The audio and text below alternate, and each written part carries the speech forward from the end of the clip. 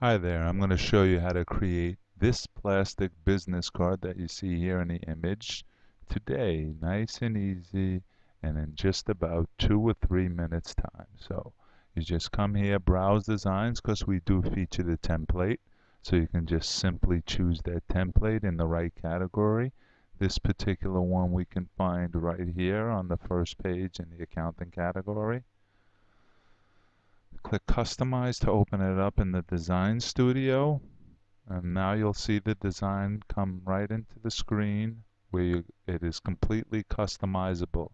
Now this particular background is locked for users to not have to worry about shifting it to be perfectly aligned but you can simply just delete the background. As you can see I can't click on it but if you delete the background you can come in here either as a background set it or as an image. But just to be precise I'm going to choose an image so I can move it around and it won't be set. I'll come into element inserts and here I'll find the chrome background As you can see, I uploaded it there. Now it's a little big past the safe margin, so what I'm going to do is I'm going to shrink down the height of it, height and width at the same time, bring it in there to, so it fits perfectly. Maybe come down a little bit here. Center it to make sure it's centered, uh, and it's almost perfect. We'll take it one more down there. Recenter it. Okay, just about everything looks perfect there. Now we're right back where we were and now it's fully editable. Now as far as text goes, keep in mind that all white areas are going to become clear or for frosted depending on the type of product you choose in the plastic business cards.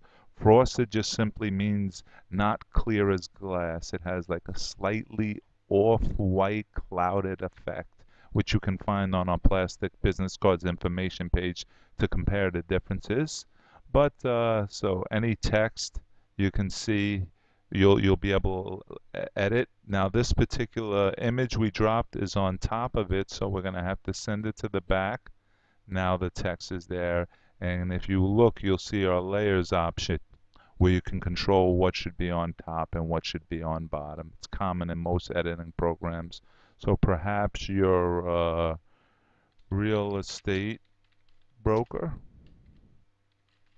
as you can see, the text is a little bit big here, so we can simply just slide it like this back and forth. We choose. Maybe you want to bold it a little bit. Come back here, company, uh, maybe real.com. Come bring it over a little bit, just like that. Maybe we'll bold it. It's size 8 text. 9 is a little bit bigger and I think a little bit better for cards, but uh, it's all about preference. We have this one at 8, we'll put it as 9 as well. Okay, so now you can see we have reproduced it pretty much the same. Now we'll put Jake, uh, sorry, let's type it in the box here. Jake and maybe the last name we'll put Bain. There we go. So here we have the card almost reproduced. Now remember, plastic business cards or any business cards on the site, you can almost reproduce anything you see on the web. So for instance, there might have been some sort of uh, partial coloring on this type of card. And if you fill it, say red, here you've completely uh, covered half the card and this is a good look when you're creating transparent cards where one side is not colored and the other side is colored. It kind of highlights the transparency.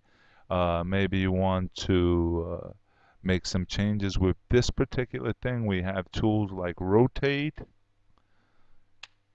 or you can change the transparency of it uh, the system has unlimited tools for you to choose from.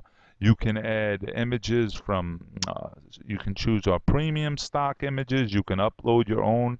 The sky's the limit to make the perfect clear plastic business card at 1-800-businesscards.com.